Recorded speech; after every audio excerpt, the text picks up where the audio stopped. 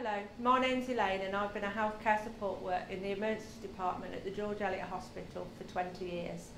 The emergency department is a busy, complex area, but we never get bored because every day is different as we never know what's coming through the door. But for me, the best part of the accident emergency is the people I work with. I work with a fantastic team that is friendly and supportive and I enjoy coming to work every single day.